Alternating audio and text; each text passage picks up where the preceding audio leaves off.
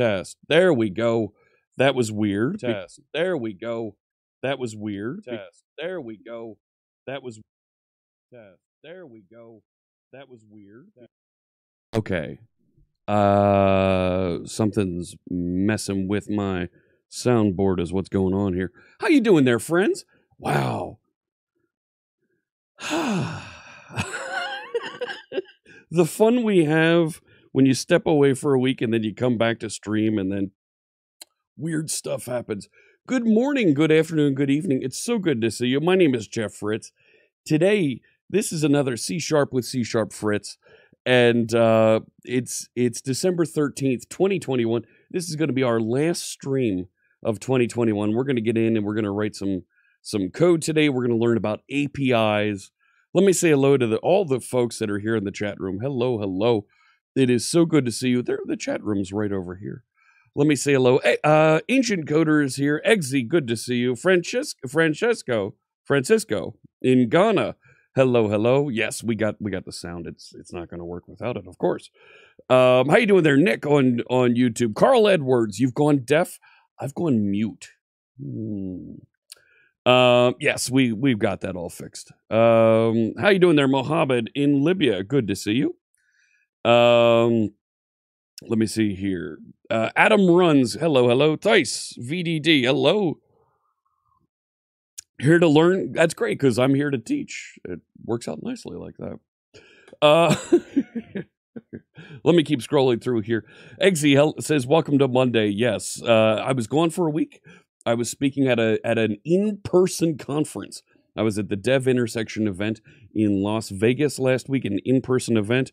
Um, it was also co located with the Microsoft M365 event and um, a tremendous amount of content. Um, about 2,000 people were at, were at the event. We had uh, a bunch of speakers there. So good to see folks in person. So good to see uh, attendees in person connect, discuss things. I had a, a number of very productive meetings that week. So good to to see folks getting back to it, getting back to normal in-person events. That doesn't mean I'm I'm going to stop streaming here. Uh, not at all. Um, it, I I reach significantly more people streaming here than I do in person, and and of course there are folks who just wouldn't be able to make it to in-person events at the locations that I'm able to go to. So being able to connect with you wherever you are is of utmost importance to me. How you doing there, Bruce Lane? Let me continue rolling down the list here. Del Riverson, Poyetta, what topic are we going to talk about today? It should say just below me here. Whether you're on Twitch, you're on YouTube, uh, you should see that. For some reason, Learn TV is not broadcasting me today. I don't know why. Um, I tried to connect and it is not accepting my connection. So we are not on. I'm gonna. I'll try it one more time. But Learn TV is not broadcasting me today as we try sending data, sending data, and no, this doesn't look good. Nope, cut me off. All right, we won't be using them today. Um, how you doing there, Adas in Lithuania? Let me tell you what. I'm gonna put up the, I'm gonna put up the timer here. Um, it's right there, and make sure that that we go through and and and we limit our our opening AMA here for the next 40 minutes. You love learning, but your brain doesn't. Lost wages? Nah, nah. Um, when is KlipTok going to be available open source? It will not be. Um, sorry, that's not something that we're that that I'm going to be publishing. That's something that I've been writing, and I will not be publishing the source for that. Sorry. Ajay is here from India. Hello, hello. Uh, VVG Online, fan of the Belgian football team. That's terrific. Uh, are they playing, or is there something going on there that I'm missing? Um, all the best to you and your team. Um, I've been. I started watching. Um, I started watching Ted Lasso on Apple TV over the last week, and uh, I'm in. I get it. I totally get it. Makes sense. Um, I I knew a little bit about uh, English uh, football culture, and um, it's been a lot of fun taking that that dip into it. So Max, hello to you in London, UK. Yes, World Cup 2022 coming up uh, in in Qatar. We'll see.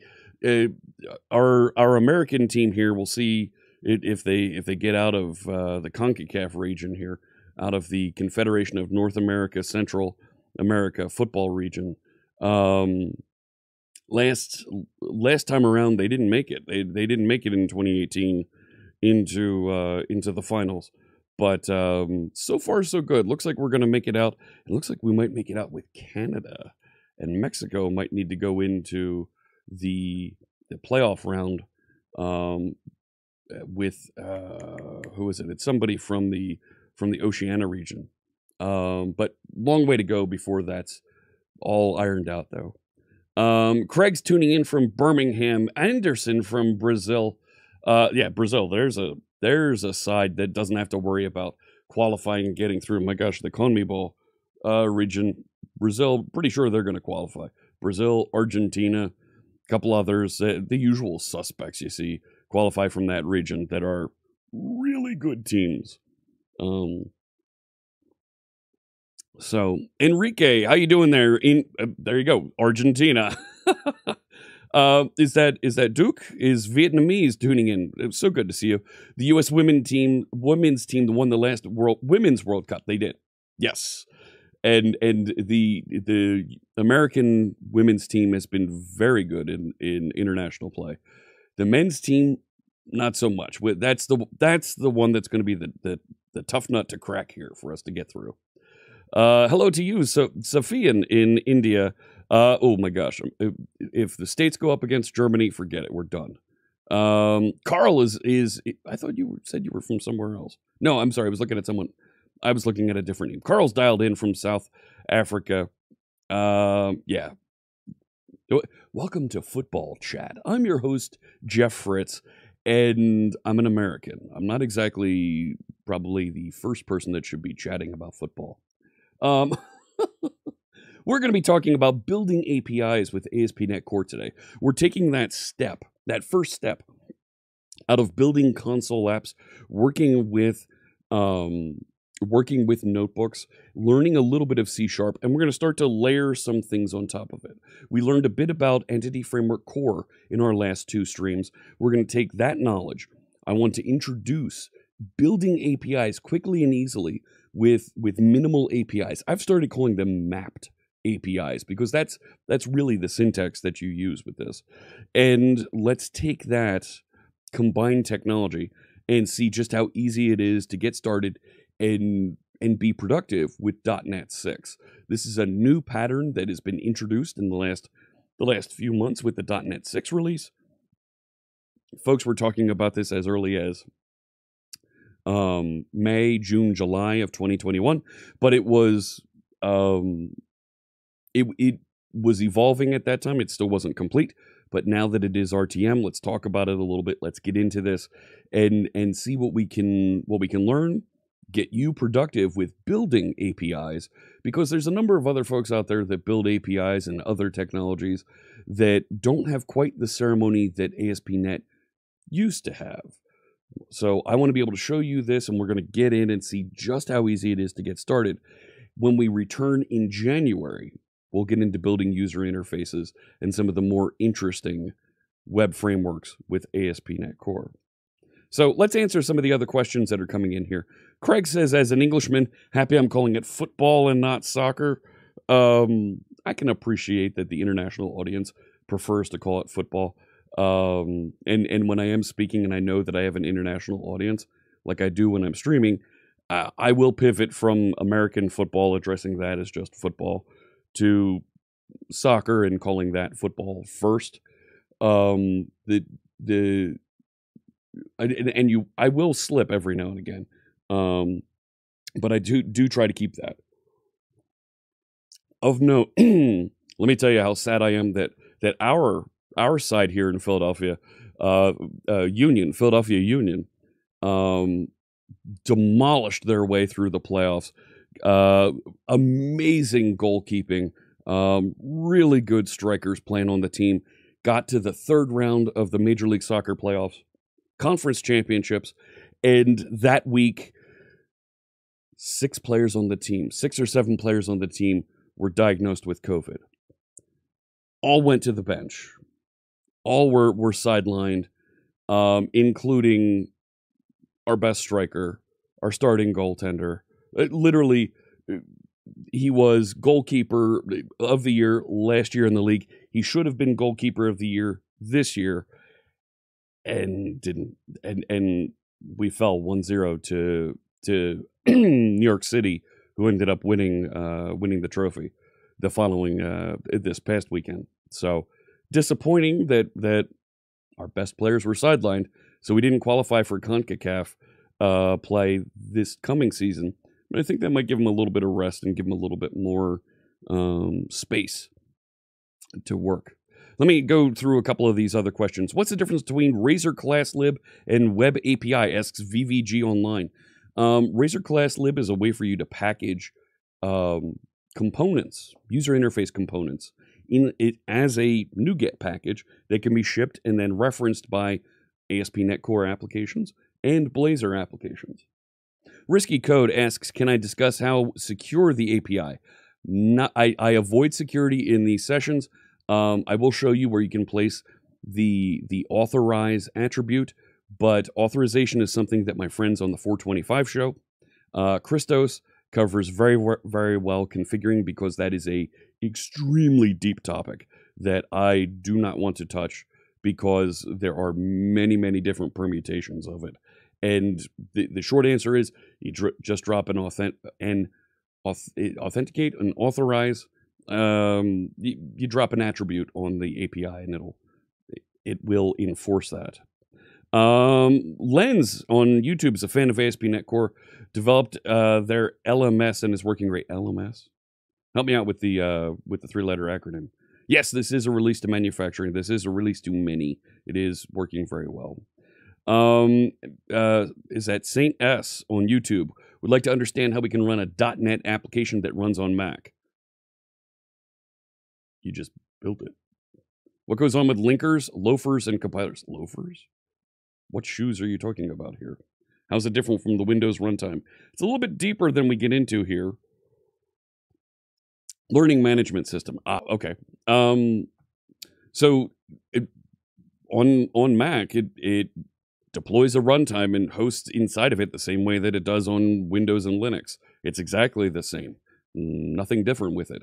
If you decide to publish as a single base as a single file application, it it pulls everything in. It it does tree shaking, linking, and pushes everything into one exe file, one executable file that gets deployed to Mac.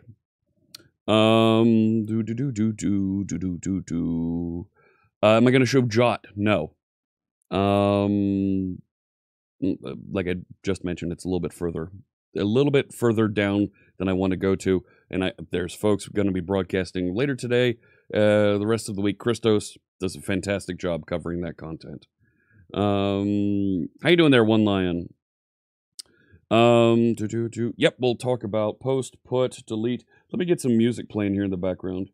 Um, I'm going to go to the EDM playlist today. This is Stream Beats. Now, let's go further down here. Start somewhere a little bit further down. Um, yeah, this is called Cozy. This is music that's royalty free, DMCA free, that you can use wherever you'd like Facebook, Twitch, YouTube, doesn't matter. It's free for you to listen to, no royalties, uh, no rights being enforced. Just listen to it, have a good time. You can even download songs from them, or you can listen to them on a playlist on Apple Music, Amazon Music, or Spotify, like I am. Check it out, streambeats.com. Thank you so much to Harris Heller for making this music available for us to listen to today.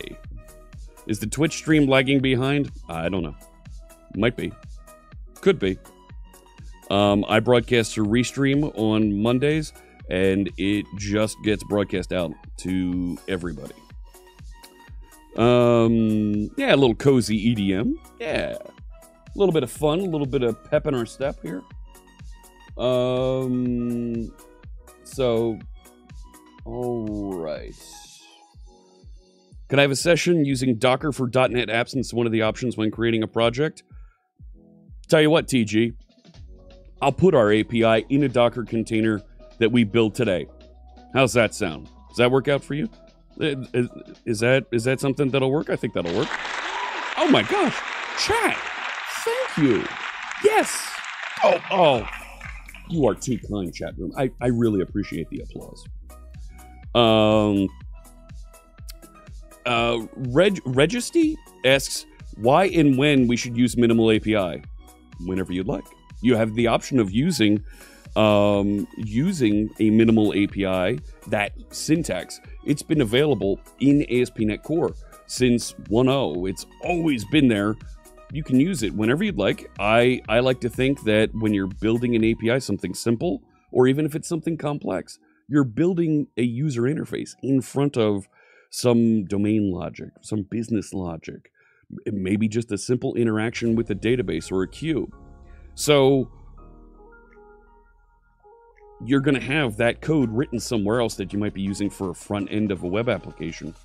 Well, just build a simple API in front of those things so that mobile applications or other applications that you want to be able to interact with with your APIs, with your back office support systems can make queries into that, uh, whether it's fetch data or insert data or whatever it might be, and interact with that in in an appropriate way that fits in with the rest of your application system. Uh, which is used more, WCF or Web API in production? Ooh. Ooh. It's pretty close. WCF is certainly being rolled off because folks have migrated and updated to Web API. So I'm going to have to lean into W to Web API, but WCF is certainly it, it it was and is a lot of places out there. Um, you love the connection to the simplicity to other endpoint frameworks out there. Seems like a great step facilitated by the open source movement. Started with Satya Nadella, says Bryant.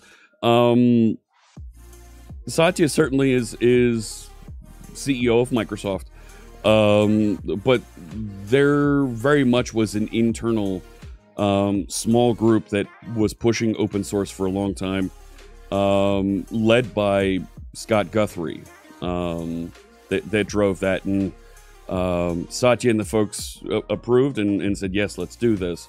But uh, I would give Scott Guthrie, Scott Hunter, um, Scott Hanselman, uh, other folks named Scott, um, uh, credit with with in, initiating that open source movement, and certainly Satya in, encouraging and saying, you know what, this is a, a, pretty cool way for us to to reach the Microsoft goal of of helping everybody achieve more. Right? That's that is our our our directive is help everyone achieve more. Not help folks that that use this piece of hardware, use this operating system, use this cloud service. No. Help everyone achieve more. I don't care wh- whether you're using a technology that that that isn't .NET, you're using a, a tool other than Visual Studio. I want to make sure that you're successful in your career, growing whatever solutions it is that you're building, building whatever apps that are important to you. I want to make sure you have the ability to achieve more. Can I have sessions? Uh, Andy asks, can we have sessions about incremental source generators?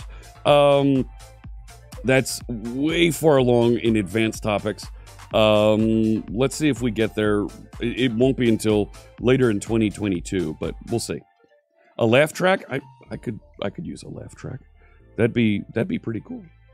Um, let me see. Can a minimal API serve SOAP style responses for legacy applications? Are you kidding me? SOAP? Um, no, sorry. Um, SOAP style applications are not something that we we support with ASP.NET Core. Um, there's fantastic uh, features, capabilities. You can use ASP.NET Framework, ASP.NET 4.8, and the ASMX file structure to build SOAP based services. Not many folks are, are using SOAP um, going forward today. Um, um, Babak asks on from YouTube, can I host an API in a different machine and call it from another client, from another IP address? Absolutely. Yep. That's exactly the uh, the, the types of scenarios we want to make sure that you can support. Uh, build, uh, install it with Docker, and deploy to to your favorite cloud service. And I hope your favorite cloud service is a nice, fluffy blue cloud that you can deploy to and and host it there and set up gateways and routing around and and redundant um, services in various data centers around the world. Absolutely. Um, you pumped to hear this right now, Bryant? Well, thank you. Appreciate that. Uh, Eggsy, sorry, the, the Scott command doesn't work on this channel. Um, Bulat, uh, I'm sorry, uh, Bogey, is, is that B- Bahogi? A, a Bogey? I'm not sure how to pronounce it. Boji? In India. Hello, so good to see you. Welcome in. Um, Bulat um, says, Salam, Jeff, hope you are well. What tech is more preferable for building APIs, in my opinion? OData or GraphQL, and why? Okay, I, have I, have been looking at GraphQL more and more, and it, it it's uh, uh, come on, it, it's a leveled up, it's an updated version of OData. It does exactly the same things, um, and it, it's going to hit exactly the same problems that OData had. It's just a matter of time until somebody exploits it. The exact it's suscept it is susceptible to the exact same problems that OData had. I'll leave that to you to go and figure out which where those problems are and how to exploit it, but they're there. They're totally there. Um, but which one is more preferable? Today in 2021, GraphQL is preferred. Um, I I disagree with that. I think it's it's a mistake. I don't um, I don't like what they've been doing with that technology. It gets me too coupled to a database. It gets me um, it gives too much insight into the the structure of my internal systems and and access to those internal systems to folks that are querying it. So, um, my personal opinion, I, I think the OData folks have learned and built a fine set of capabilities around it. I would still build an abstraction, something like gRPC or OpenAPI in front of it. How you doing there, PC nerd? Um, Assis Zhang. Microservices are, are essentially web API web APIs in .NET. Yeah, yeah. That's a little bit of an oversimplification, but yeah. Um, Registy23 on Twitch asks, what's the difference between a RESTful API and a minimal API? Minimal API is built with one line in in your code, and you're going to see how we do that map get, map put, map post, map delete. I've taken to calling them, and and I did see Ancient Coder liked. I, have taken to started calling them mapped APIs. I think minimal API.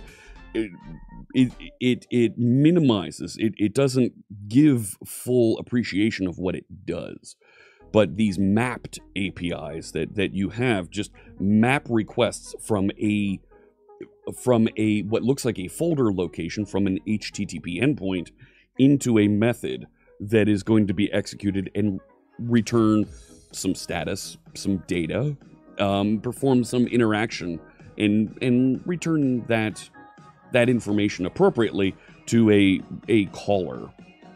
RESTful APIs um, represent representative uh, state transfer. No, I forget what REST stands for now. Why am I forgetting what REST stands for? Um, RESTful interactions are, are endpoints that don't that you can query and get back. Uh, JSON, XML, you can specify your data type coming back. Um, you get that feature from minimal APIs. In ASP.NET Core, we did a lot of that with controllers before, but by doing it this way with middleware, with these map statements, much, much faster. And for folks that are coming in from other technologies, it looks exactly like how they've been writing code. And here's the thing it's 10 times faster. It's 10 times faster. Are you kidding me? Do it. Why not? Ah, so, um, let me see here. There's a NuGet package that allows SOAP-like responses. Yeah, you can you can layer stuff into there, but it's not something that that we're actively promoting because folks should be moving on to the more modern technologies. Um, Puyeto says my project is using ASP.NET Framework and Entity Framework 6. Is it worth migrating to ASP.NET Core and EF Core? Oh yes. Oh oh yes. You're going to see immediate speed improvements, stability, um, security improvements. You're going to see technology improvements, like you're going to be able to build and deploy with Docker. You're going to be able to build and deploy on your favorite operating system Windows, Mac, or Linux. Build wherever you'd like, deploy wherever you'd like. You want to build that application and, and deploy it to Linux? No problem, we got you covered. You want to deploy it into the cloud in a Kubernetes cluster that scales appropriately as needed? We got you covered. The upside of upgrading to ASP.NET Core is tremendous. Check it out. Absolutely, I would suggest you do that. What's the main difference between microservice and web API? asks Ajay. Um, I would I, I would suggest that microservices have more to them than just an endpoint. Um, and that's why I've been calling these mapped APIs and not microservices. There are folks that say microservices have their own isolated database and and uh, not just data store, but but database and interactions that are isolated from everything else, so that they behave independently from the rest of the uh, the application system, and that that helps define a microservice. Um, it's an architecture choice. There's there's many things that you can do with it. Yeah, I see. Alexander says it's it's an architecture choice. You can build it using multiple APIs, absolutely, and there's other there's other parts of an application you're going to want to layer around it. Security queuing um, how it interacts with other services how it deploys how it scales up and down. It's it's more than just an api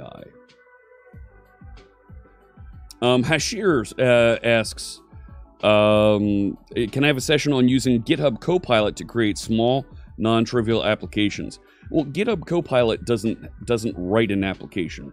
It's a tool that assists with writing software. Um, I'll tell you what, I have Copilot installed on on the machine that we're going to be using today.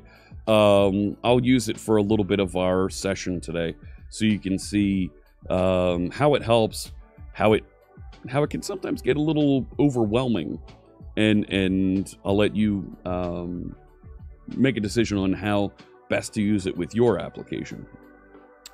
Um, getting ready to walk the dog while watching the stream, says PC Nerd. Well, that's fun. Why are there less content tutorials on MVC 5 but .NET, .NET Core is everywhere? All MVC 5 content are old but not updated, says DOS P.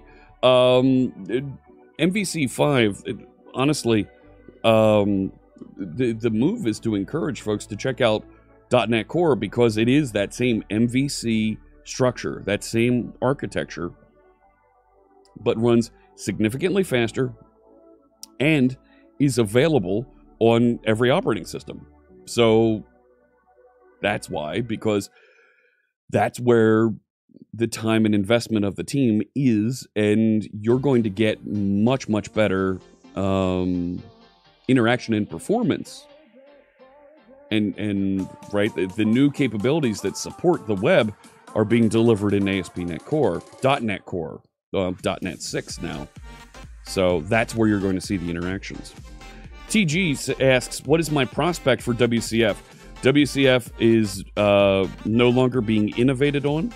It's available. It's very stable. It runs fantastic on Windows. You can build with .NET Framework 4.8 and target WCF.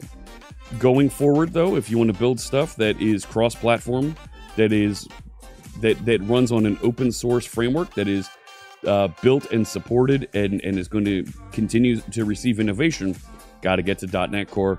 I recommend you check out the gRPC bindings for ASP.NET Core. Akrem uh, on YouTube says the problem is I want to start with .NET 6, but when I get uh, stuck, there is no help because it's new version and the community is not that big. Completely disagree, Akrem.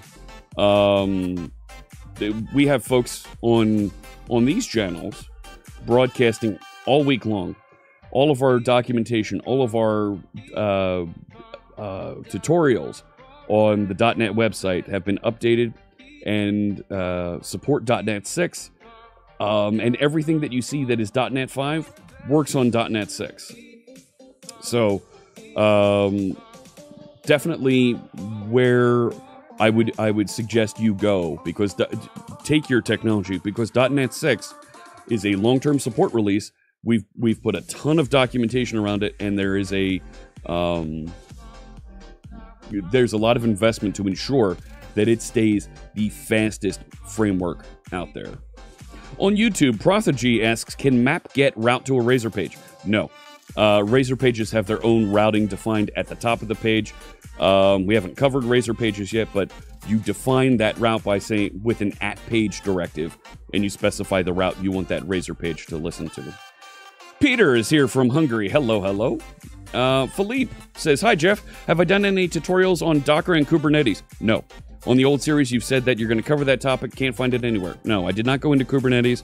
Um, it, it, I, I made the decision that Kubernetes is more architecture than it is um, than it is development. It, not architecture. It's more operational architecture than it is a development tool and technology. And quite frankly, the documentation and support for Kubernetes out there from everybody is dreadful. It is terrible. It is awful. I would not recommend anybody go near it with a 10 foot pole because the cost for Kubernetes scales out of control uncontrollably. It is insane how bad Kubernetes is for folks that want to manage a small application. I wouldn't recommend you touch Kubernetes unless you know it and you know it extremely well and you know what you're getting into because it is not easy to manage and get into. It, it, it literally, it's a world of its own that is something that, as a developer, I don't want to know. I don't want to know. I don't want to touch. It it it scares my wallet. So, um, and that's my opinion. Other folks di- will will disagree with me that are experts on that. That's fine. They can they can have that opinion. Um, but I I I've been faced with um, unexpected hosting bills because of that, and I, I've spent enough time trying to learn Kubernetes that I know it's something that I don't need. Um, Siraj on YouTube uh, asks, when should I use Blazor versus .NET Core MVC? Uh, that's like choosing between Pepsi and Coke. Um, use MVC when you when you want to use the MVC pattern. You want to render things on the server and and take advantage of that. Use Blazor when you want to try out and, and have that spa like application that you want to deploy and and run uh, offline in an in on a device that isn't connected, occasionally connected. Uh, but you can also use Blazor server side and have that component based uh, framework that is more more akin to web forms. Um, MVC is very very much targeted towards folks that like the model view controller architecture. So it's your choice. Um, One Punch Mac on you on Twitch asks, "Are there any changes required to move .NET Core APIs to Azure Web Apps?" Nope. You can you can take a .NET Core API and publish it to Azure App Service quickly and easily. Um, literally, there's a publish button in Visual Studio that'll generate GitHub Actions and send it out there for you. Um, Super Viking on YouTube. How's it going there, Aztec Consulting? Super Viking uh, asks, can you secure a web API using a combination of API keys as well as identity in Azure, or do you have to choose one or the other? I believe you can combine the two, um, but I, I wouldn't mix and match that too much. Andy on YouTube say, I would always use Blazor versus old MVC. That's the direction that I'm going these days. So, um, Tice VDD on Twitch asks, what is the best way to find the community? Can I recommend a site where to find the community for .NET 6? I'm, I'm not sure what you mean by find the community. There, there's Discord servers for C Sharp. There's there's tech community out on uh, dot net if you go there. Um, all kinds of places that that you can. Uh, Stack Overflow has all kinds of folks talking about .NET 6. I'm not sure what you what you mean by the community um, because it, there's lots of websites where folks are interacting with this. So, Um, Sean on YouTube asks, "Is Razor Pages still the advised path over MVC for apps, for apps that are suited? Three major apps still in .NET Framework 4.8 that will migrate, trying to determine a future-proof solution as much as possible. There is no such thing as a future-proof solution in technology. Let's let's be clear. How how future-proof would you like to be? Web Forms is still supported 20 years after it was invented. Is that future proof? Um, MVC is is still supported and innovated on on .NET Framework 13 years after it was released. It's been innovated on and migrated and now has the .NET Core and .NET .NET 6 capability uh, frameworks running underneath of it. Is Razor Pages advised? It's I wouldn't say it's advised. It's a choice that you can make if you want to build something that's page oriented instead of the model view controller oriented. When you build a Razor page, it actually generates a controller for you that connects in and uses that CSHTML Razor page as the view. It, it literally is the same thing, just they, they cut out the one piece so you don't have to manage that. Uh, Kubernetes very much is a DevOps thing, yes, but a little bit. It's a little bit overkill for most folks. Um, let me see here. Scrolling, scrolling. Um, James Foreman on YouTube says Kubernetes is for an enterprise team, not so much for individual de developers. Totally agree. Cloud engineering can be hard. That's right, Prothogy. Das P, uh, you're very welcome for answering your questions. I'm the only YouTuber who answers all questions with so much information. Thank you. Do me a favor, drop. I, I love the comments like that um, because, quite frankly, folks on on the the feedback that I get on YouTube when when it runs through sentiment analysis is dreadfully negative. Not a fan of that at all. Um, so I, I really struggle with delivering content for YouTube. How am I so chipper on a Monday morning? asked Richard on YouTube. That's what I do. That's my job. um, do, do, do, do, uh, trying to decide if stick with MVC or doing conversion switch to Razor. Watched a Scott Allen video before, and he kind of suggests Razor. Um, much respect to Scott Allen, um, our, our late friend, um, who who innovated a lot of the training technology you see folks delivering on YouTube, on Twitch, on Pluralsight. Um, much, much respect to Scott. I, I always saw him as a mentor, um, as a leader for us as as trainers, um, as as folks that were delivering and answering and helping. Um, I would say that that Razor Pages was a way that, it, in Scott's time, Razor Pages was a way it was a was a thing that the team was innovating on and they were recommending folks check out. It was never meant to be a replacement for MVC. And we still continue to deliver both user interface technologies to this day and support them both. It's all a question of, of choice. How do you want to build your application? We want to give you that option to interact with those. Um, so that's the answer, and that answers Dukasoft there on Twitch as well.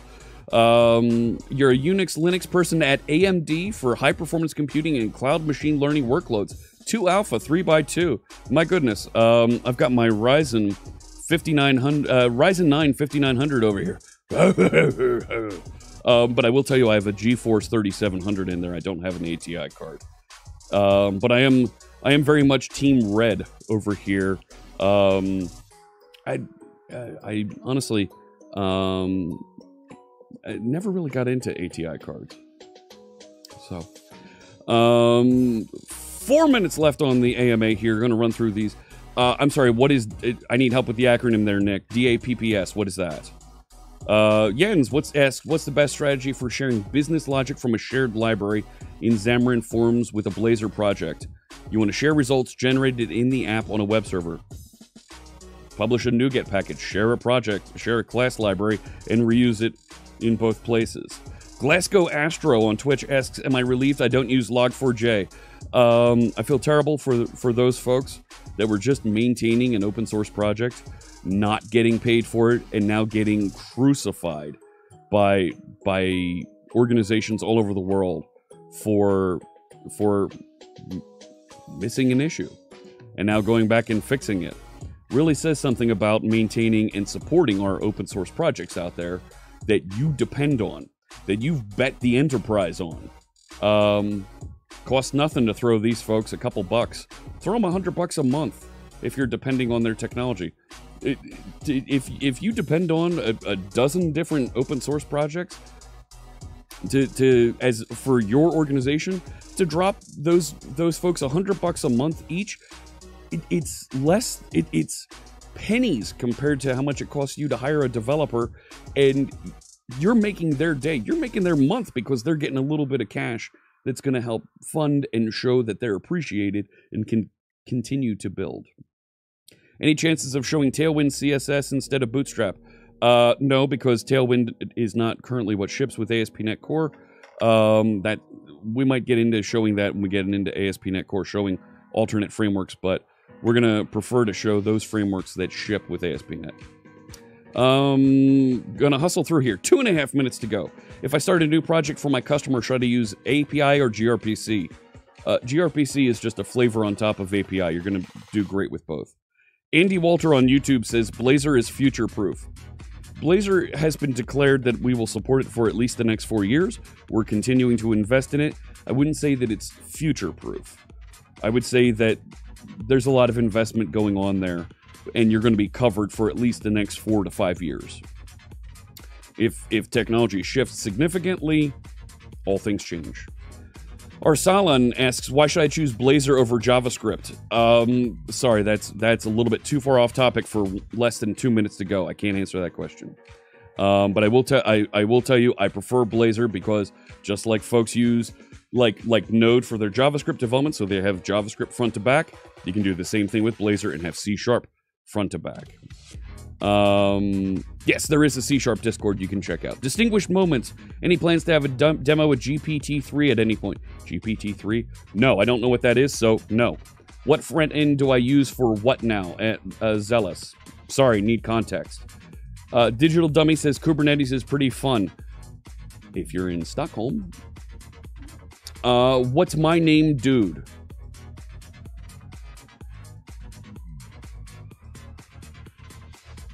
Moving on. I would pick Blazor if you're not familiar. Blah, blah, blah, blah, blah, blah, blah, blah, blah. Gregory White, any chance of seeing Tailwind? You already asked that question. Please don't repeat questions. I read every uh, every line of chat here. Uh, yes, big love for Scott Allen out there. How does the base href work in index HTML? Deployed your WASM app. Despite having a base in the base href, it still goes to slash page. Um, you got something else going on there, friend. What are my thoughts on Python and Fast API? It's not as fast as ASP.NET Core. How about Docker? Does .NET app need Docker? Nope.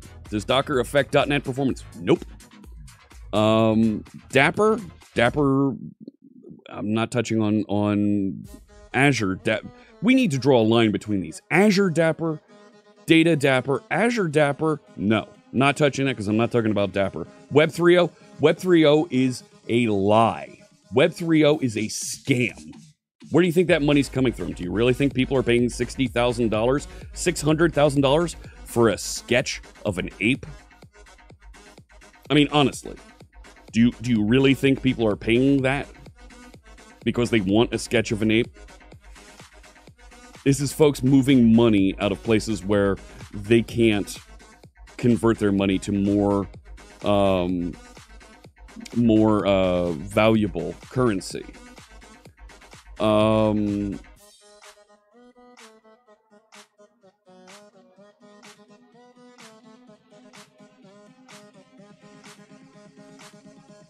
all right. Um,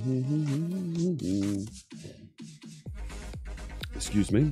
Um, finishing up here, we are at the end. QA, that should say QA complete. Um, do, do, do, do, do, do, do, do, do. Yes, I have a very strong opinion on Web3.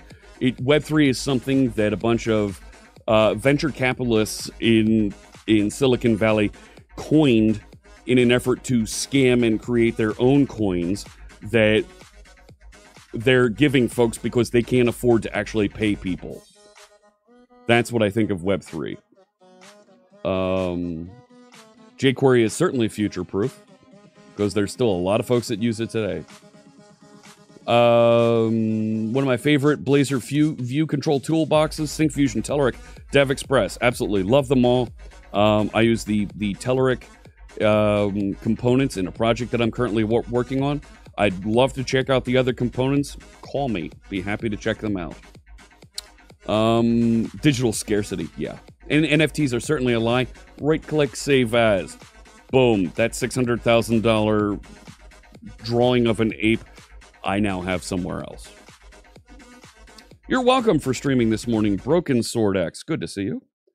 Um, Mud Blazor is a pretty cool set of components. Yes, it is. Um, yeah, and, and uh, folks that are saying, "Oh, well, we'll just issue more coins. We'll just issue more of these." Sorry, it's it. That's not how these things work. You're trying to hide your funds. Why? Oh, and we're hiding them in public. That doesn't work. Um, Asabla, no, I'm not going to do any Advent of Code on stream. There's plenty of other folks that are doing Advent of Code, and quite frankly, I'll let them do that because I guess they don't have creativity to come up with their own projects, their own tools, and things that are interesting for folks to work on. Is Node.js worth it to learn? I don't think so. No. It's incredibly insecure. Um, from, I mean, do file new project and start installing packages, and you're going to see high security warnings come through in an instant. Don't do it.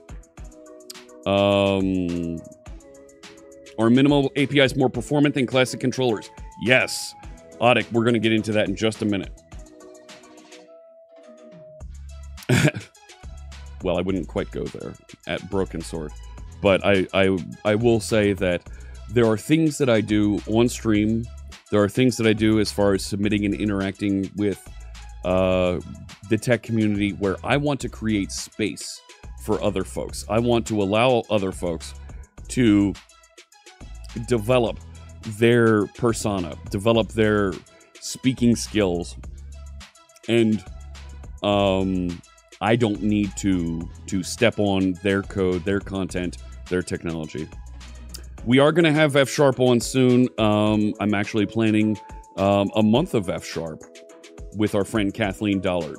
More on that coming up. I'll have more to share when we get into 2022. Um, so, yes, let's get into minimal APIs. And Mud Blazor, Mud Blazor is pretty cool. I appreciate what they've done with that. It is a lot of work to do. Some practical minimal APIs, yes, let's do that. So, um, moving on from the AMA, and and from what I'm seeing there, yes, I'm one of the only people that does this type of open AMA and answers questions and and gives you exactly what I think of things. Um, it's it's not easy to do, and quite frankly, it scares folks to the point where they they they pre-record everything. I go live with all of this. Um. Oh, that's fantastic, Broken Sword. Thanks so much and uh, Dukasoft, I'm I'm glad folks like the AMA. But let's get in. Let's talk about uh, building building APIs with ASP.NET Core so that you get speed, uh, scalability, durability, and and the ability to document and roll those out and run anywhere you want. ASP.NET Core seems like seems raw, like Node and Express. No, no, no, no, no. Wait till we see. Wait till you see we get in there. Um, will we see an F sharp version of ASP.NET Core based on minimal APIs? No. Mm-mm. Um, can I show how to structure minimal APIs a bit in a good way? Yeah, I think we can do a little bit of that. Is this Scott Guthrie? Are you seeing that because I've got the red shirt? No. Um, AMA. Uh, AMA Ask Me Anything is what AMA is. So I literally answer any question that's on topic for that first 40 minutes. All right. Let me let's let's grab the things here. Let's get ready to go over to get ready to go over to the other set. Um and and start writing um, some code, start talking about minimal APIs, what it means, how we can use them, how they can grow, how we can structure them. I see some questions coming in here. Let's get that set up. I am. I got to grab my phone while I while I make the walk over here to the other uh, to the other set. And uh, yeah, let's get over to the other set. Uh, do, do, do, do, do. Here we go. Let's head over, and I'll see you over there. All right. Oh no, I'm caught. Oh no. Get over there, Fritz. Get over to that other. Are you kidding? Are you kidding? What just happened there? Um, what happened to my restream chat? There we go. Hey, I'm over here now, and um, i have got my lighting needs just a little bit of help there. Uh, One second. One second. Just set that filter. I think that's a little bit better. That's probably a little bit better. There we go. All right. I missed a couple questions there at the end. Um, before before I cut over here. You can still hear me? Well, good. good. I'm, I'm glad to hear that, Carl. And I've uh, I've got my teleprompter online here. I can see everything. All right. And there you go. There's the songs that are playing as we're going live with Stream Beats today from Harris Heller using the EDM playlist. Oh, all right. So, minimal code, minimal APIs with .NET. Will I be show, sharing the code? I always do, Distinguished Moments. Check it out. You're on YouTube. If you're on YouTube, check out the link just below here. You'll you'll see the link to all the code that we're writing. I'm going to open up Firefox over here and, and jump in and show you exactly where everything is. Uh, it is on github.com, C Sharp Fritz, C Sharp with C Sharp Fritz. There you go. It's right there. Um, and today we are down under, we are in sessions, we are in season one, and we are looking at 0114 minimal. And there's the same README that I'm showing you on screen. The code samples that we're going to go through are in these two folders here. And any other code that we write, any other tuning that we do here live on stream, I will uh, commit and upload into this repository. So if you're watching the recording, this might not look exactly the same, what I'm showing on GitHub, with what you see when you navigate here. I may have added some content. I may have written a little bit more prose and added some links down here to help support a little bit of what we've learned, maybe a little bit of what the chat room was discussing and suggesting we get into. I may add to this and, and expand a little bit. Um, please understand that the GitHub repository is a live repository. It's going to evolve and change, and it might not be the same as what you're seeing right here today. All right. So, um, you like Visual Studio Code, but it is not full, fully compatible with C Sharp 10, says Audic. Disagree, and I will show you. Let me let me show you that to get things started right now. Let's do that. So I still see a bunch of folks from YouTube chiming in. Um, folks on Twitch, you, you out there? Hello? There we go. I think we just went. Did we go? No, we didn't go around the horn. All right. So I'm actually in Visual Studio Code here.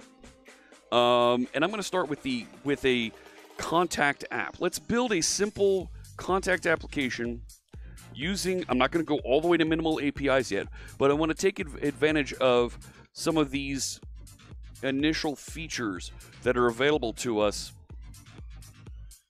in C Sharp 10 that will help us to understand how we can interact with with data, interact with some of these things before we start layering in ASP.NET Core. Ah, good. There you are, Twitch friends. So good to see you. I saw a bunch of YouTube in a row and and didn't see anything come through over there. Hey, Chris Jones, Sean O and Saint G85, fantastic. Good to see you. Been using Coderish on Twitch has been using minimal APIs for a month, and they're loving it so far. Terrific. Uh, yes, Twitch is another streaming service. Um, and we're over on Twitch TV, twitch.tv slash Visual Studio. So there's Tester Coder with the Hey Guys emote. All right. So I'm going to start building next to the the finished versions of these apps here. Um, so let's do this. Let's uh, let's clear, and yeah. So let's call this um, let's call this my first app, right? Ugh, no, no, Fritz. Uh, hang on, that's bad idea. Let's create a new console application to start here. My first app. And this takes advantage of C Sharp 10 and our new templates that are available in .NET 6 to give you an application that is very small and has just those uh, those lines of code that you need to get started building an application. So I'm going to go back over here and you'll see there's my first app and it's got a project file here with some things defined, and we'll talk about what those are in a minute. And I've got a program CS that has just a very simple hello world. Okay. Um, so let's get into. Uh, I'm not going to get into validation as part of this. Um, but it's certainly something you can layer on easily. Uh, let me add. Now I'll leave this where it is. So I'm, I'm actually going to build exactly the same content that's in the Contact app uh, project, but we're going to do it live here and talk through this. Um, so I have just a console write line that says hello world, and that looks like some of the code we've been building in our notebooks. Um, and consequently, I can say .NET run, and it will compile and run that, and I get a very simple hello world being output. Big deal. But what's going on under the covers here is those the there are things that we didn't touch on, we didn't need to cover when we were building and working with notebooks called using statements and namespaces. using statements and namespaces are ways for us to keep our code organized so that we can have our objects laid out across all of uh, our folders and, and our, our projects that we're going to be sharing in a way that, that creates a little bit of nomenclature, a little bit of structure that we can share and, and make available to folks in a way that makes sense and can grow and doesn't trample over other objects. So you define a namespace to house the content of your classes and, and enums and structs, all of those things that you're creating you add using statements to indicate in your files, well, use the contents from this folder, from this namespace. I'm sorry. Scratch that. You add using statements to declare use the contents from this namespace without having to include the namespace in working with my content. So if I wanted to work with, let's say, a, a string reader, I could refer to it as system uh, IO well, I said string reader, string reader. I can use that entire syntax right there. And that gets a little right overwhelming to have to write system IO string reader everywhere. So what we do is we shorten that, get rid of the namespace, and we add a using statement. And now it knows what string reader is. So I can say string reader SR equals new string reader, right? Without that using statement, it gets a little confused. What's a string reader? Um, give me one second. Uh, let's do that. And it, it's going to get confused. It doesn't know what that string reader is. What do I, where's that coming from, right? Um, and I'll run a quick build there just to show you that it throws the error. This isn't in the project file, that's why it's choking. Yes, I know. I know. Um, my first app. I'm not in the right folder. Now .NET build that. There it is. See, there's the error. Oh, I don't know what this is. So, um, go up one. .NET SLN add my first app. And now it should pick up what that is. I'm even going to reload the window. So I'm in Visual Studio Code, and it shouldn't know what that is now. And I should get a little underline showing me, hey, that's a problem. Or, right? It shouldn't be picking that up. Because I removed that. Thank you. Yes. No. Uh, fine. Come on. There it is. It doesn't know what these things are. It's got this red underline because I don't know what that is. I need a using statement to help tell it, well, here's where you, you find string reader. Or uh, here's another one so it can find console. So, um, and I, I have the wrong syntax here for creating a new string reader, right? Um, okay. So, right now I've got a compliant string reader and I'm off and running. In .NET 6, I, I showed previously, we don't need these using statements because we have something called implicit usings. And that's what I commented out over here. And that generates a series of using statements that are made available inside of our project that simplify our code in files like this. Let me take a look at chat and get caught up here. Uh, why am I not using Visual Studio? Uh, because somebody said that uh, they wanted to see me use Visual Studio Code with C Sharp 10 and .NET 6. Um, is the image blurring? It shouldn't. Oh my gosh! Why did my, what happened to my? There we go. The the camera is yes. Why is my camera focus going out here? Hello. That's weird. Um, that it's losing focus so bad. I, I need to turn off autofocus, it looks like. All right. Um, let me see what else is going Get those glasses in prescription? Yes, you can. These are from Gunnar, and they do make it. Uh, they do make uh, prescription versions of these. Um, we're not talking about F Sharp today. Please stop going back to that. Um, what versions of Core? We're using .NET 6. Um, yes, and we're going to show global usings in just a minute. Um, and and let's see, it's not distance to camera. I think it's focusing on my background a little bit. Um, all right, so we have these top level statements that we can write into our program CS file, just like we had um, inside of our notebooks. We are able to write code directly at the top of our application. We didn't have to write classes in order or structs or enums to to start working with our content. We can do that now in our program CS. We can have one file that has here's those first lines of code that you should execute when this application is started.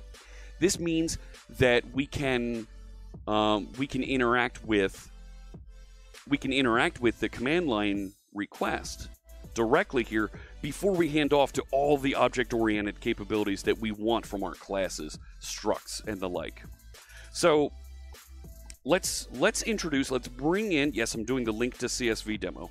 So let me bring in, um, I'm going to go into my first app, and let me add the LINQ to CSV NuGet package so I can create some some additional interesting capabilities here. So I'm going to say .NET add package LINQ to CSV, and this will download that NuGet package that will allow me to query a CSV file with LINQ statements. So there it is, it's downloaded, and it's installed in my project. There's the reference right there. Let me go back up here, and I can now load and interact with that.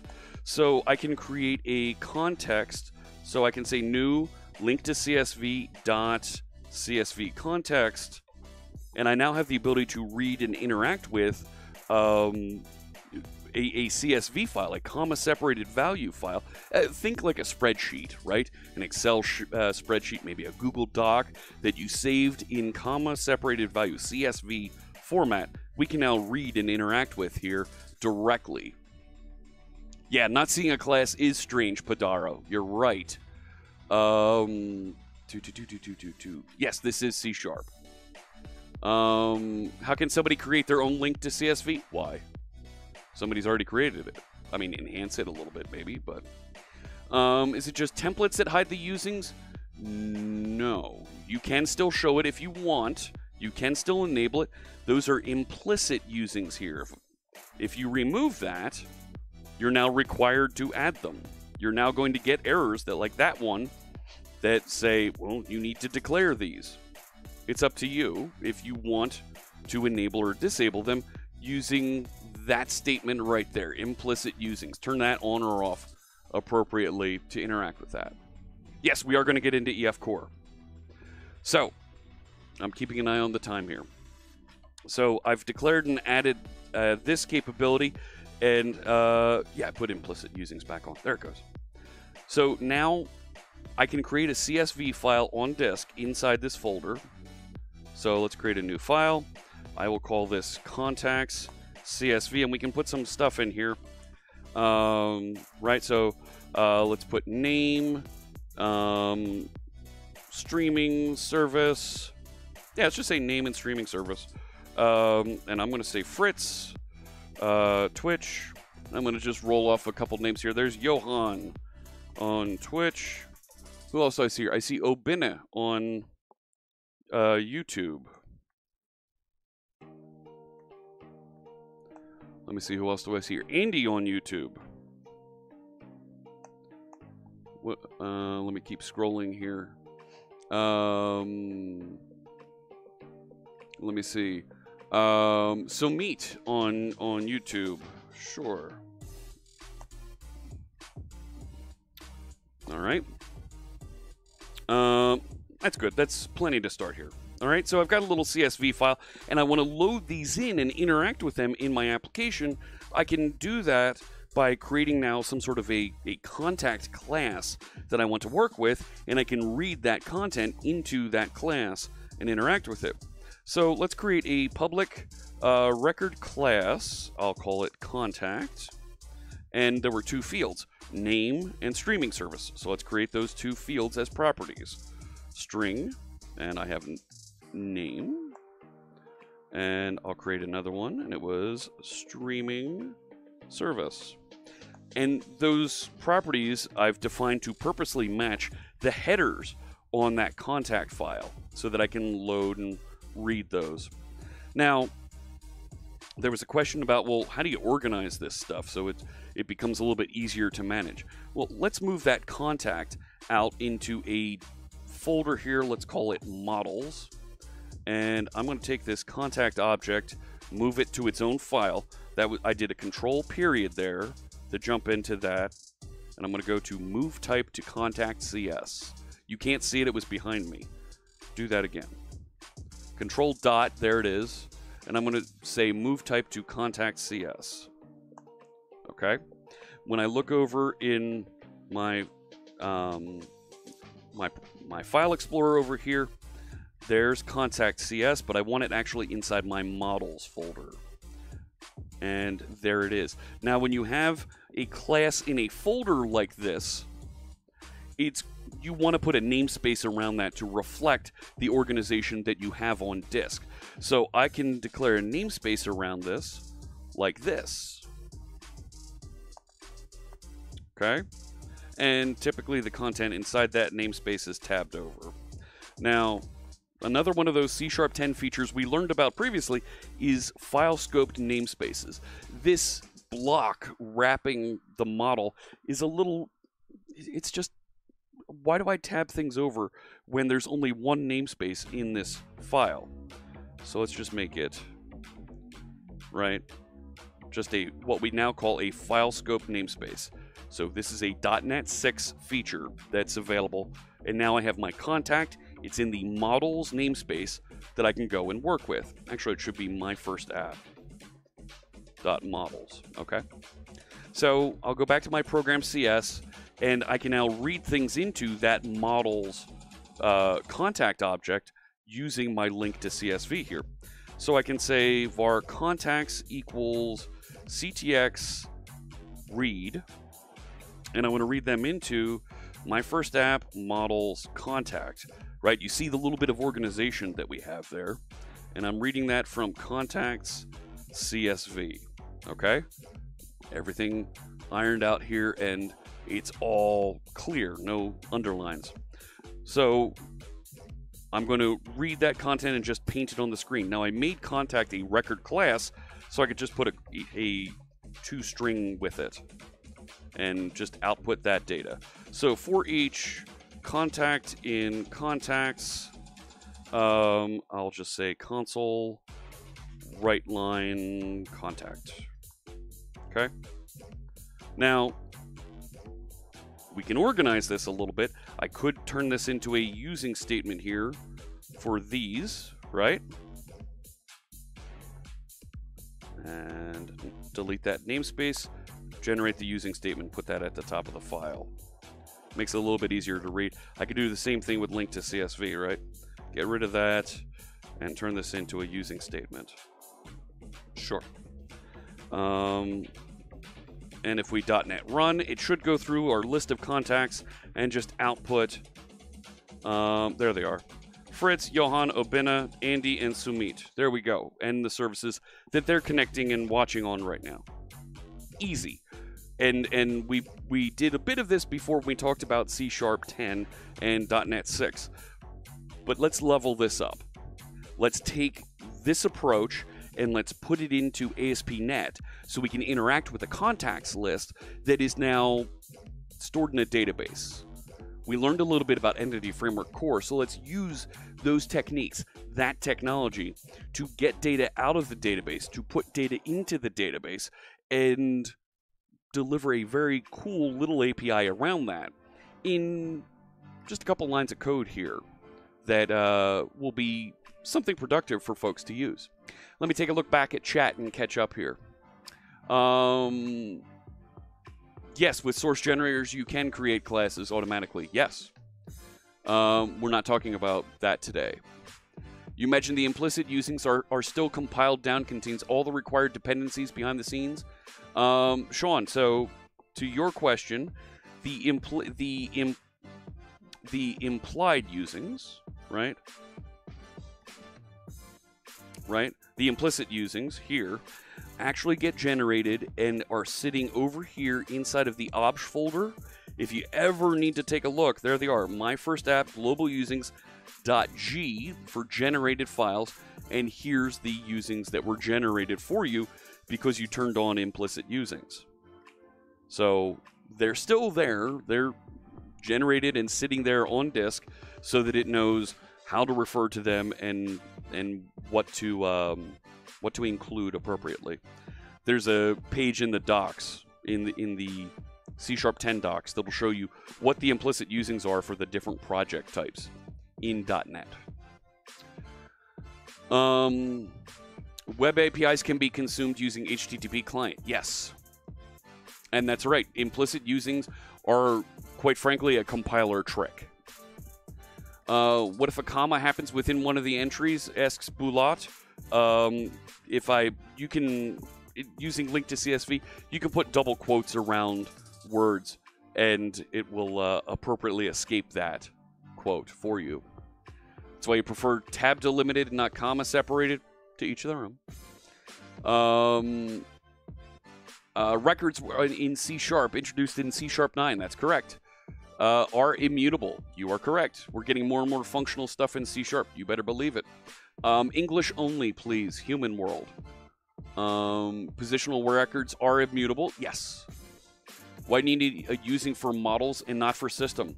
Because system was generated with one of my implicit usings, and models is not. Thank you for asking that question. I can make that go away by including a. Um, I can I can generate a using here that is enforced across the project. Um, and this is uh, uh, what was it? My first app dot models. Yeah. Right. I think I have that right. I think I have that right. Do I have that right? Uh,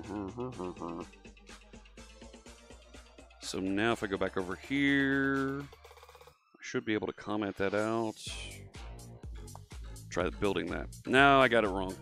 Um, shoot. It is, is it global using? I forget what, the, there's a way to include a using statement in here. Um, did I include it in, no, I didn't include it, include it over here. Um, I'm forgetting that syntax. Yeah, using include. I thought I had that right. Do I just need to put that down here and not in property group? Is that what I did wrong?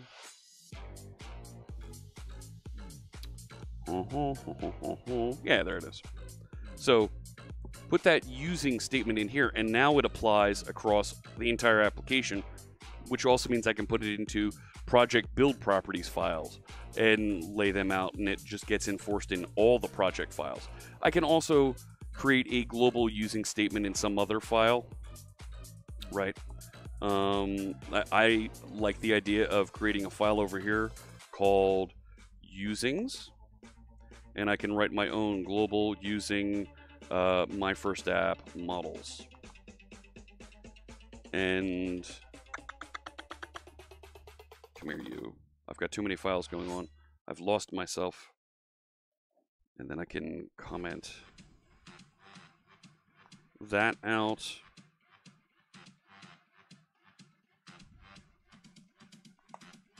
Ah, oh, come on. It's so long, it's hiding way over here, but that builds properly with the global using statement. So you can put that using statement wherever you'd like and in whatever file you'd like. Um, some folks like to see it in the project file, so it's easy to pick up that it's all right there. I like the idea of an underscore usings file because as an ASP.NET developer, I'm used to an underscore imports file that contains my um, it contains information about the Razor templates I want to import. CSV to SQL, no, not going to quite go that far. Uh, that's right, Obina. That would be a positional syntax for a, a person record class. Um, console write line shows object. That's right, Siraj. Because I created my contact as a record class. So you could create just a record contact, but now in C Sharp 10 we have record structs and record contacts. What are you doing to me here, Restream? It just refreshed and I lost chat.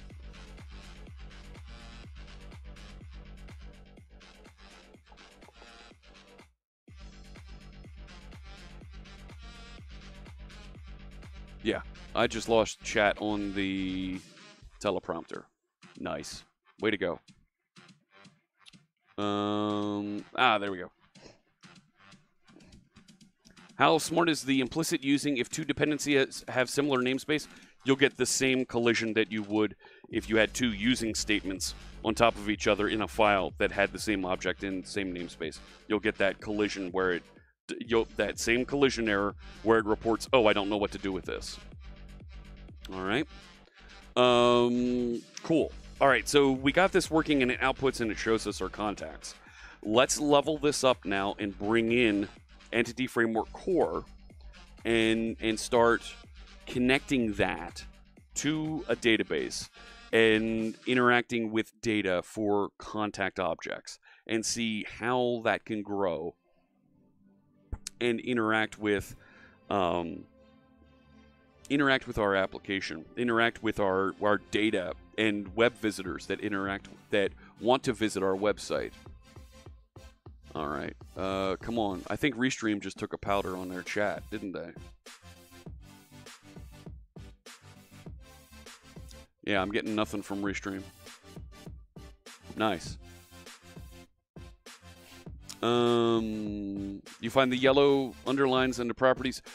Restream here on my on my teleprompter has stopped. Try this again. Because I, I, I want to be able to see you, chat room, and and keep up with what's going on over there. Yeah, I've lost it over here.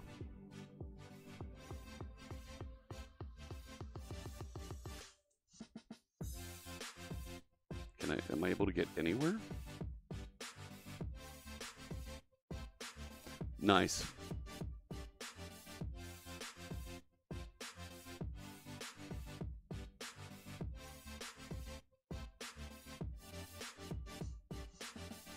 Let me get reconnected here.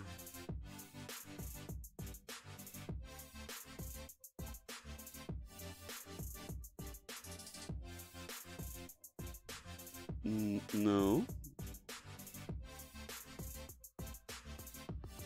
One second.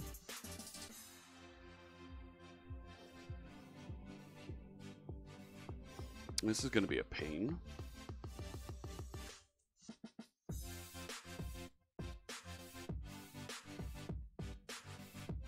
Yeah.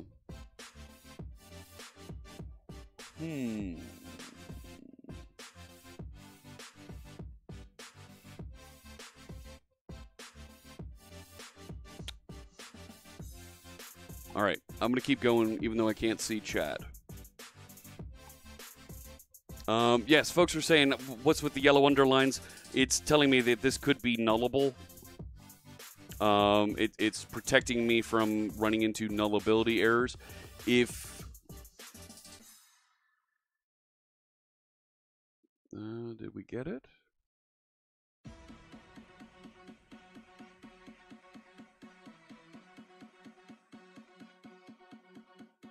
Get reconnected here? No.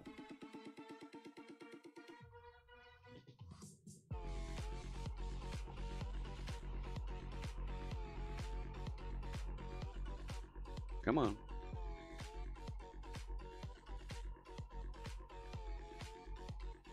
This is weird.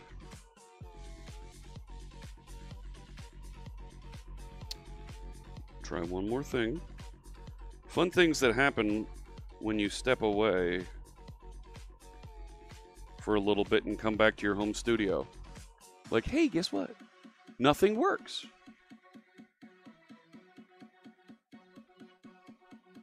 Yeah, it's not even seeing my phone to connect. Nice.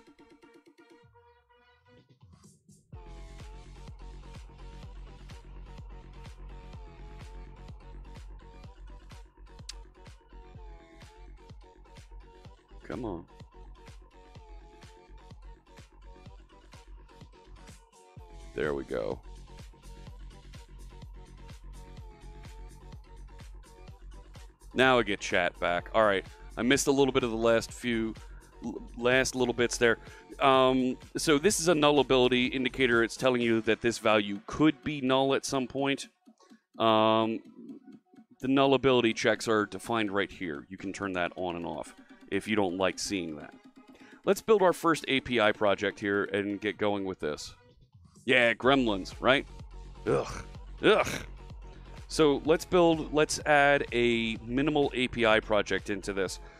Um, when you look at the list of projects that are available, we, these are the most commonly used ones, but it doesn't include that minimal API. So if I say .NET new list,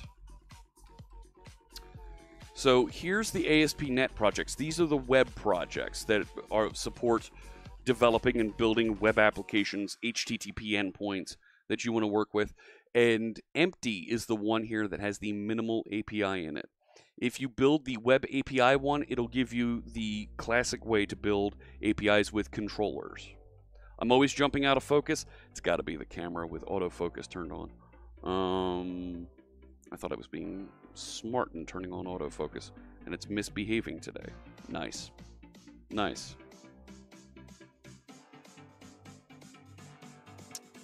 Um, Okay. So let's go in. Let's build a minimal um, API project here. So I'm going to jump up, and we'll say down here. Um, move it to the top, Fritz. Come on now, you know better. Uh, .NET New Web, so it creates an empty project that's set up for APIs, and I'll call this my first API. That should be dash O, not zero. And that's do that again. Because I spelled it poorly. Get started right. There we go. All right, good. Back over. This time, let's open it with um, with full Visual Studio 2022. Um, I'll I put it in the solution file here first, Fritz. Uh, .NET SLN add uh, my first API. Good. All right, let's go to Visual Studio 2022. Take a look at how this works over there. Now that I've shown that it does work in um, eh, .NET 6 and C Sharp 10 um, work here. Do not delete this stream. Nope, we don't. Uh, LV, low VSO. This gets archived. You'll see it on the uh, youtube.com slash .NET channel. Look for the playlist C Sharp with C Sharp Fritz, and you'll find all of my videos in there. So we're going to open a project solution, and I'm going to go not in dev intersection. We are in C dev, C sharp with C sharp Fritz. Sessions, season one, minimal. Here we are.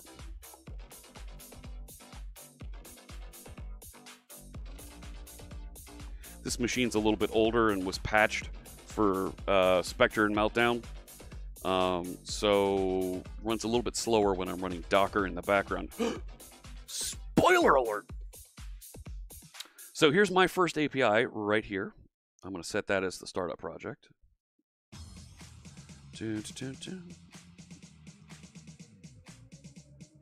Still loading other things in the background. There we go. When we take a look at the program CS file here, you're going to see that it looks kind of similar to what we had before to get started. So I have a builder that's going to create a web application here.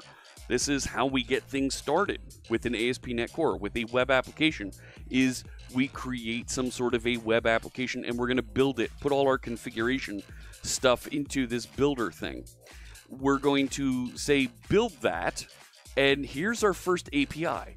Map a request when you try to get the root of this little web application to return hello world. We got this little lambda statement here that we're going to go through, execute whenever that is requested, return hello world, and run the application. Run the browser, and it's just going to sit there and wait for interactions. So let's start this and see what happens. Where'd my coffee go? We need that coffee. Coffee is good. And this is going to give us that very, very basic, very simple hello world instance with our API. It's going to start up a browser for me here in the background. There we go.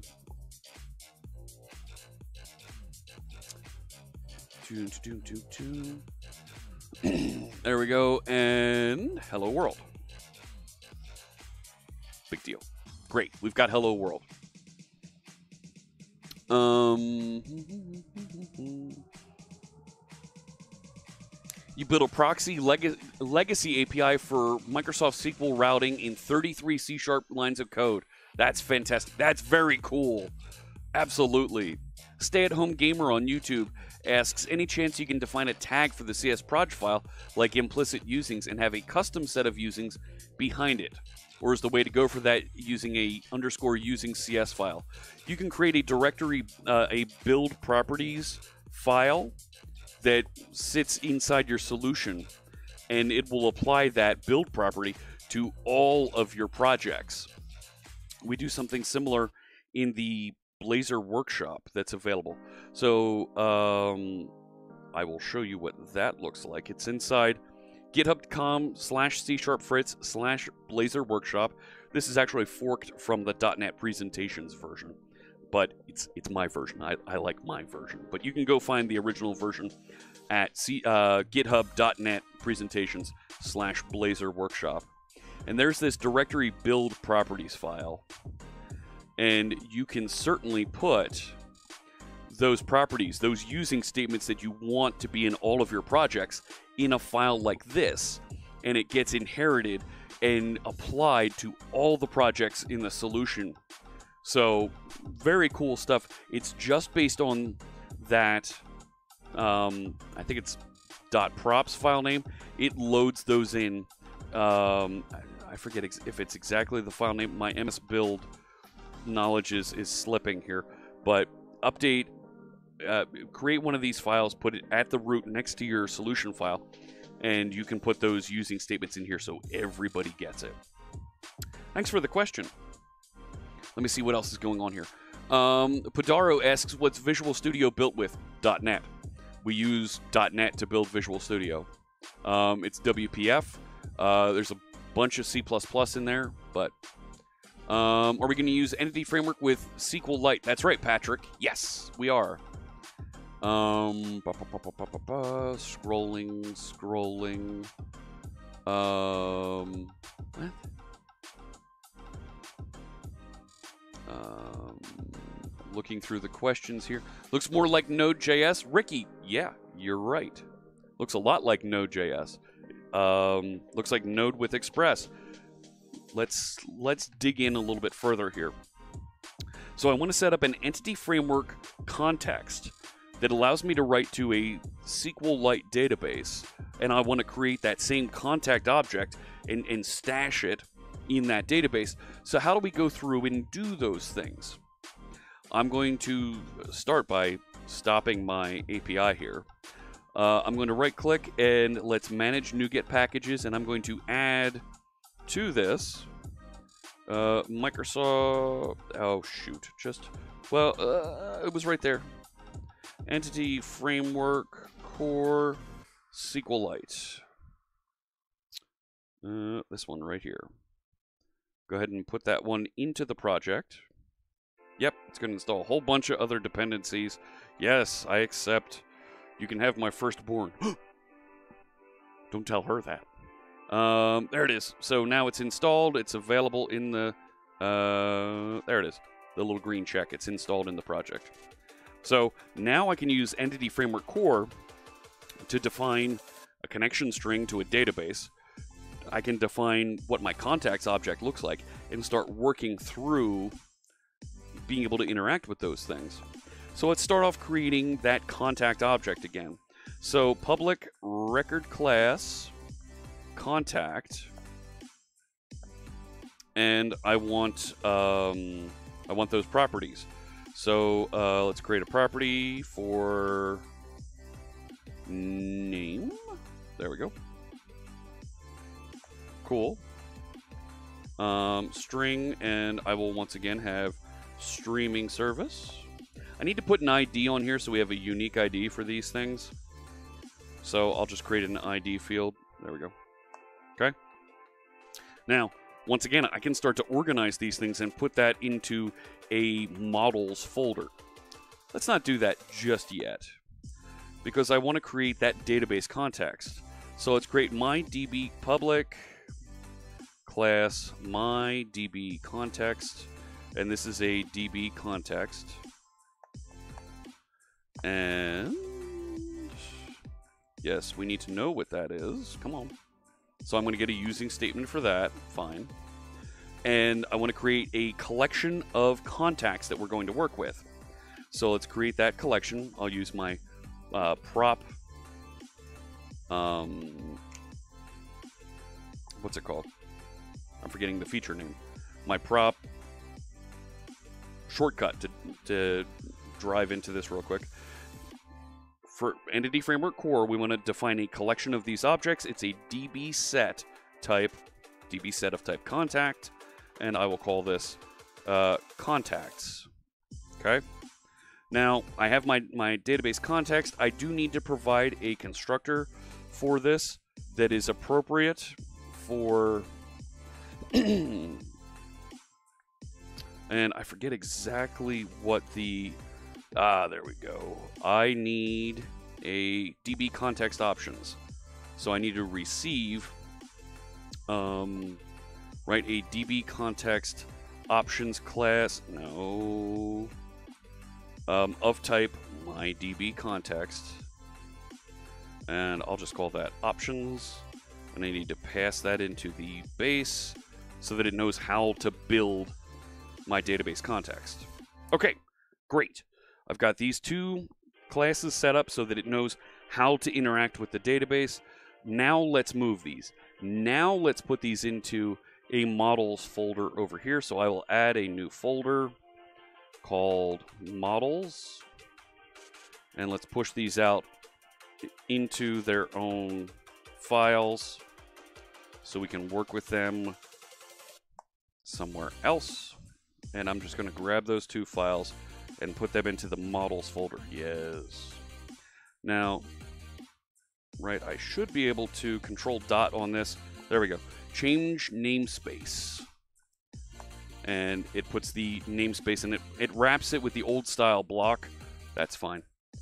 Um, and if I go back over here to my DB context, I can take this and change its namespace as well. Okay. So it eliminated that extra namespace call. We're good here on the construction and interaction of these. So back over in my program, um, if I want to work with those objects, I need a using statement for my models folder. So my first fine. Right? Did I did I just call it models and not my first API models? No, I did. Uh, yeah, I don't have anything in this file yet. Okay, so now we need to make that entity framework context available before we can start interacting with it. I have 15 minutes to go here. Oh, baby. All right, so when we want to make that entity framework context available for use across the rest of my application, I need to put it inside of a service locator. And the service locator for ASP.NET Core is right here, builder.services. And I'm going to add, uh, what is it? Add context, add database context. There it is. And I'm going to specify the name of my context here, which was, right, my DB context. But I do need to give it that configuration information that I'm using SQLite and the name of the database file that I want to write into. So we're going to define that with a little bit of a lambda here. And I'm going to say options dot um, where is it? Use SQLite. Give me my. I need a using statement for that. And now I can give it a connection string to work with. Now I could pull that connection string out of configuration, but I'm going to force it here because I'm creating just a little sample. So I'm going to say data source equals contacts.db. All right, so I now have a SQLite database to find how to connect to it, where to go get that data, put a semi at the end of that.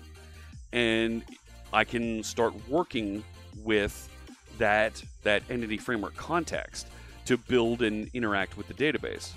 So let's get an instantiated version of that DB context so that we can start working with the data inside the APIs that I'm going to write down here. So um, let's create a context. Um, and actually, I don't even need that. Yeah. Um, no, let's let's start here and work backwards. Uh, app dots uh, services. I'm going to get service, right? Yeah. My DB context. There we go. And now I'm going to say uh, context database um, ensure created. So make sure that there's a database on disk that has all the things in it for me to interact with it. Um, I believe I need to create the migration that goes with this. So before I go too much further, my first API, .NET EF, migrations, add, first. So this is going to build, make sure that we have that contact object and we're able to work with the database. Um, you make me sad. What did I mistake? What did I mistake here?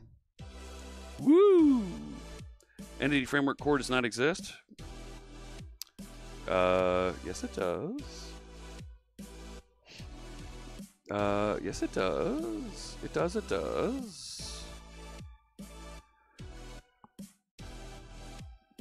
Right there.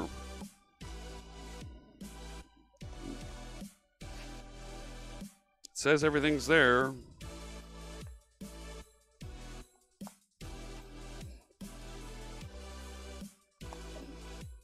What am I missing? Are you kidding me?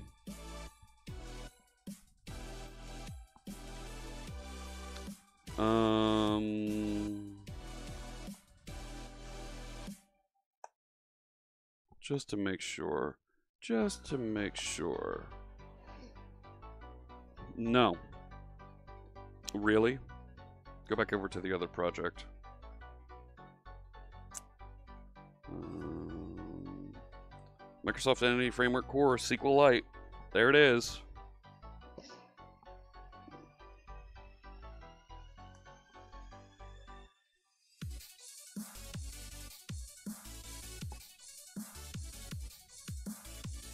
Why isn't it restoring it for this project?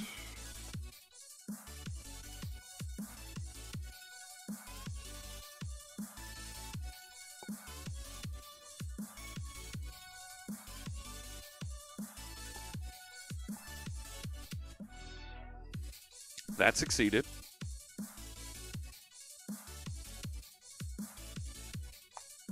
Try that migration add again.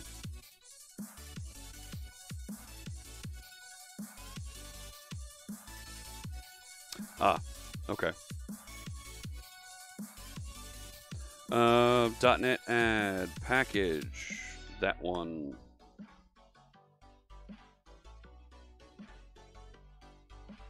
So we can generate our content. Do it again. Uh, oh, WPF. Uh, yeah, it was used with WPF. Um, why build APIs in the old way when there's minimal API? Uh, there's um, folks like the organization of it, and there's other capabilities to interact and um, structure things a little bit cleaner. So, record classes are just like types in TypeScript. Yes, I see lots of questions that came through. I'm trying to keep up. Um,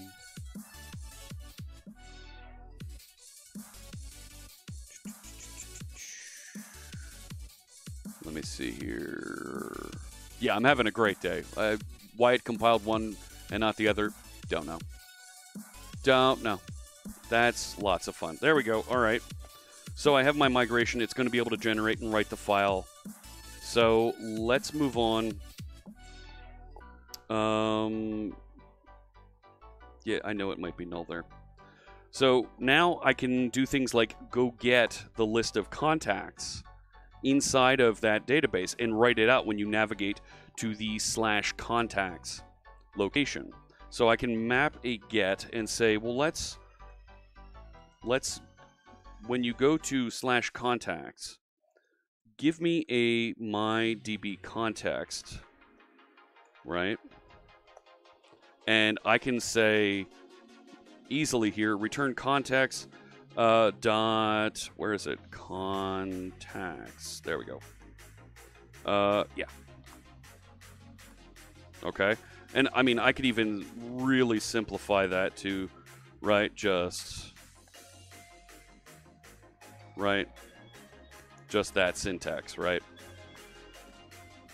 And now when I run this, right, I made it very, very clear exactly what we want it to do.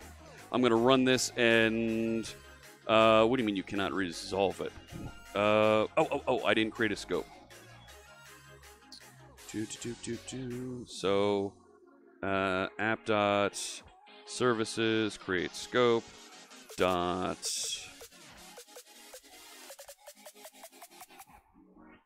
come here you do it again Entity Framework objects are scoped in context. They're available for the entire duration of a request. So we need to get a scope in order to return things. So there's my hello world, and if I go to slash contacts, I get no data because we didn't write any data into our database yet. So I can start to level this up and add new features to it. Um, and I've only got a few minutes left, eight minutes left. Let me go to the completed version of the app and walk you through some of that code so you can see a little bit of what's going on here. So just like we did before, we have a database context. Let me come to these in a second. So there's create scope, get service, and here we're setting up those mapped APIs, contacts for get interactions, post because we want to add, we want to create a new contact, and we're we have this argument list that we're defining inside of this lambda here, right? It's just a signature for a, a method. So I'm defining um, here, this is an asynchronous instance of one, but I'm defining a database context and a contact. That contact is being provided by some sort of a post interaction, right? It's in the body of that up- upload that's being added to this. Okay? So that upload has that new contact as payload, so I'm saying we'll just add it, save changes, and then return a appropriate created, right? A 201 statement that says I created it. Here's where you can find it at newcontact.id, whatever that ID number is for that contact. I have a map get here that has this bit right here. See that ID int? That is a routing parameter. We're capturing the ID as the next element of of the URL string here, of the folder uh, path. And it's going to be an ID. It's going to be an integer. We're going to put it into the ID field that's captured right there. And we'll use that to do a find. Go find me a contact that has that key. I have similar methods here for put and delete that will uh, update and delete records appropriately. I'll let you go through that source code. It's in the project linked down below. But I've also added Open API into this. I've added the uh, Swashbuckle project, which gives me Swagger here, right? So Swagger, this is the old name for Open API. It was called Swagger. So we have a contacts API, and this is still got my dev intersection bit in here. I'll just delete that. And when I run this contacts API, this has a slightly different contact structure, but we'll take a look and, and uh, run this one instead. So let's set this as the startup project. And we'll run that, and we'll be able to see a little bit of this. Uh, all right, so there's my hello world. And if I go to slash contacts, I get the, these contact records have a city field. So I've got Fritz and he's in Philadelphia. I've got Scott and Scott's from Seattle. But I've also got the ability to get just a single one of those if I type it correctly here. I just want record one. There it finds record one and presents that. I have the Swagger um, API definitions all set up here for me so I can use Open API. I can generate a client if I want from this documentation. And you see the location of it is sitting right here. And I get this JSON file that has all the information about the API that's defined because I added those couple of elements inside of my minimal API. And all of this content can be used to generate strongly typed clients that will be able to connect in and work with my little contacts API. I've also got some great documentation here so I can add and change and work with content. So if I want to add a new contact, I can click try it out here and we can add somebody new. Um, I don't know. Uh, uh, let me add. Let me add my friend Javier and uh, he's in Des Moines. All right, and execute that, and it returns a message here that says that's what the curl looked like. And Javier is now this record ID3, and it returns to me also a header that says you can find Javier at slash contacts slash three. So just to show that I can do that, let's close that up. Here's that get that'll take in an ID field. So let's try that out. An ID parameter. I'll ask for ID3, and there it is. There's the curl request that it made. That's the location that it went to. There's the response that I got. So we can do a lot here quickly with ASP.NET Core building these APIs, and I've written it all in. This one has all of the entity framework and uh, object in the same file, but I wrote it all in 54 lines of code, and I can add it to Docker. Give this Docker capabilities by right-click, add, and I can choose. I have it running right now. I can't. It's not in my dialog box there. Right-click on that and say add Docker support, and it will generate a Docker file for me. So we can click through, and you'll see it generates a Docker file that looks like this. I changed this slightly to give it the Alpine um, base image to use, but that means I can go over here and I can create and work with my contact API Docker image, and it's only 100 meg. So I wrote one C sharp file, compiled it, put it into a container. It's 100 meg. It's ready to go, ready to be deployed to use wherever you need it. Let me head back to the other uh, desk uh, so we can wrap up. All right. All right, all right. Back over here. It is so good to be with you today, chat. We went through a ton there so quickly. Um, but I hope I hope that that meant something. I hope you you can go through and you can take a look at those samples. I showed you where the link is to download. Um, it is GitHub.com. Uh, oh, crumbs. Go to the actual GitHub and copy the location here before you paste it in chat. Da, da, da, Let me go grab the complete URL location.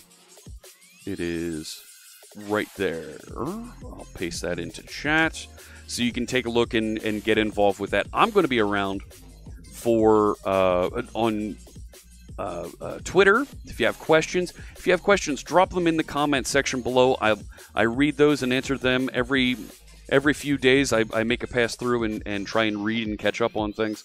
Um, thank you so much, everybody, for tuning in. I'll be back tomorrow. Hang on, switch switch music here, Fritz. Um, yeah, there we go.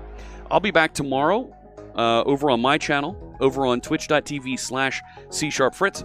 Um, we've got a couple things we're doing here for Thankmas for the, the end of the year here. Um, and uh, it should be a good time hanging out with some of our friends from Progress Software and the Code It Live channel. I will uh, I will be back on Thursday with a full day of coding over on my channel. We'll be writing some Blazor code working with Azure um, and RavenDB. It promises to be a good time. Can I link that channel? Absolutely. My channel that you'll find me on is twitch.tv slash C Sharp Fritz. Those of you that are on YouTube, I hope you have a fantastic day. Take care. Um, and those of you that are on Twitch, let me take a look around the horn here and see who we can raid, who we can set up and get you connected with that's having some tech fun that would certainly be interesting to support. Um, I think somebody that that um, yeah, somebody who's who we've rated before, who's who's friendly to the stream here. Let's go and raid our friend Tim Bodette. Um, and support him.